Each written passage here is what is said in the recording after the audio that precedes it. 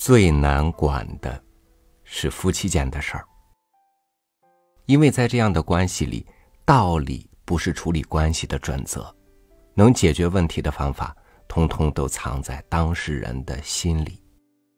但是难也不代表不能解决，请看标题。与您分享罗兰的文章：相敬如友。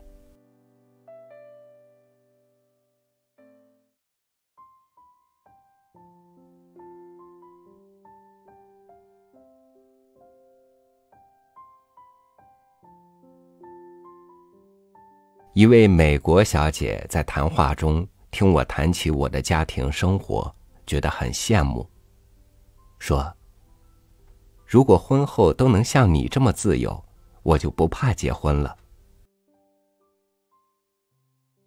说起来，我真算是很自由的。我可以随时想上街就上街，想访友就访友，可以打个电话说声。我今天中午不回家吃饭了，就不回家吃饭。可以随性之所至，自己跑到山上去享有一个下着微雨的上午，也可以堂堂皇皇的去关岭或其他地方度个假。总而言之，我没有什么太大的牵绊，家庭的琐事可以推得开。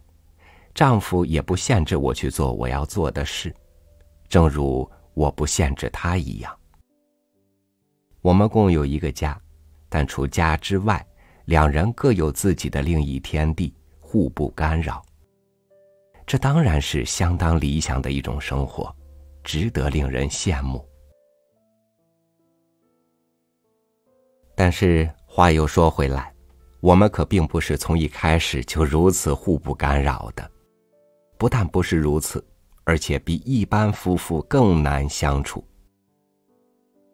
由于两人个性都很强，受不了一点牵绊，但是又不能很慷慨的任凭对方去为所欲为，所以不但痛感拘束难受，而且也不原谅对方想要自行其事的性格。总觉对方不能心甘情愿的迁就自己，是因为爱情不够。又总觉自己受对方的束缚是件很委屈的事。所幸两人都还有足够的理智，认为既然结婚了，有了家庭，只好牺牲自己一点性格，迁就一下对方。所以一切按规矩做，该回家一定回家，非有必要，绝不在外面吃饭。两人生活步调力求一致，包括起居的时间、家庭的布置和娱乐方式。例如，我曾发现，看哪一部电影，经常是我们争执的主题，结果我最后总是服从，不提任何意见。他不爱听音乐会，那就不听；他不喜欢郊游，那就不去。当然，这妥协与放弃也不仅是我单方面的，他也因为我不喜欢游泳而不勉强我陪他游泳，也因为我不喜欢跳舞而谢绝跳舞。除娱乐之外，交友也互有让步。有些他的朋友是我谈不来的，也有些我的朋友是和他谈不来的。为了避免麻烦。索性双方取得默契，找时间单独与这些朋友们来往。孩子小的时候，他有他的一套育儿方针。既然他是一家之主，那么我一切听他主张。为了避免各行其事，也为了使家庭基础更为稳固，在孩子小的时候，我索性放弃了工作。前后八年之久，专心持家。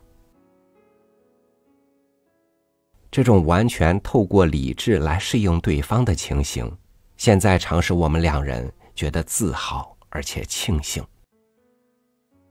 两人尽管个性都强，常因意见相左而僵持不下，家中气氛十分紧张，几乎连离婚的念头都有。但彼此却都互有分寸，绝不离家出走，绝不废弛家务。薪水一定照常交给家里，甚至遇事争吵的时候，遇事不在外面吃饭。这种不走极端的自我约束，实在是很难做到的一件事。我们似乎都早已知道，如果不是准备真的走向极端，那么最好是自己先站稳脚步，留下余地，不使事情闹得无法收拾。同时，也是为了在对方心中建立信心，使彼此知道，无论发生什么事情，双方本身都有分寸，都不会过分，都把家放在第一位来考虑。绝不会因为任何原因而胡作非为，影响到家庭或孩子，更不会因任何原因而影响到彼此真正的感情。这样，经过多年的奋斗，由双方互不适应，到努力约束自己，到彼此在对方心中建立了良好的信誉，实在是一段相当艰苦的过程。维持感情的平衡，家庭才可稳固。但这平衡是最费苦心与耐心的事儿。两人都需要准备足够的信心，来随时调整不可避免的冲突与急躁，直到互相了解、互相信任，才算稳定下来。这时，才是自由的开始。由于双方互信彼此，都有足够的理智以及对家庭的责任感，所以现在，两人可以恢复自由，去找回当初的任性。想交什么朋友，想到什么地方去，想怎样安排自己的书房，想写信给谁，想安排何时去度假，想几点钟起床，几点钟睡觉。或索性半夜起来写东西，都是百分之百得到对方的谅解与支持。他不会为我喜欢独自撑着伞去兜雨，以为我是在和谁怄气；我也不会为他经常不回家吃晚饭而怀疑他有什么不轨行为。现在两人偶尔谈谈自己的怪念头、奇想法。彼此也不会再以为对方不适合做个正常家庭的一员。于是，这充分的自由就成为令人羡慕的了。古人说，夫妇应该相敬如宾，以维持彼此间的尊重，由互相尊重而维持感情的长久。我却觉得，相敬如宾未免太过疏远。不如相敬如友。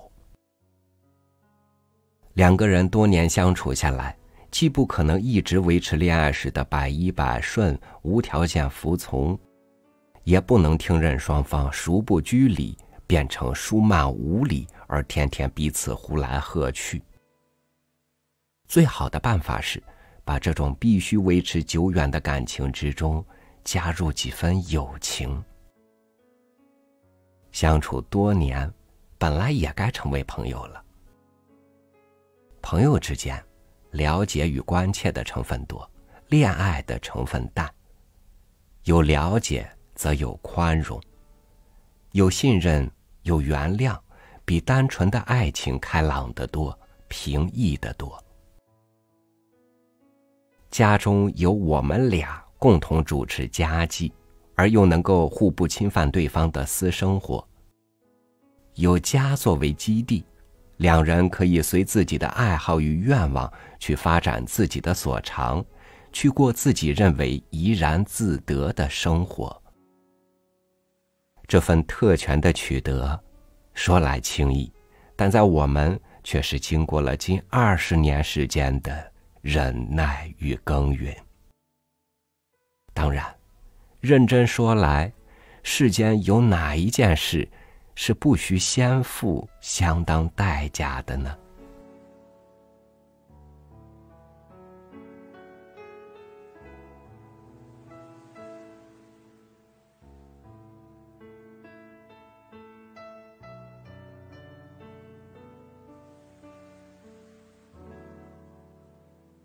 退让实在不是什么大不了的事情。当我们知道这一点的时候，说不定已经伤害了多少本可以走向美好的感情。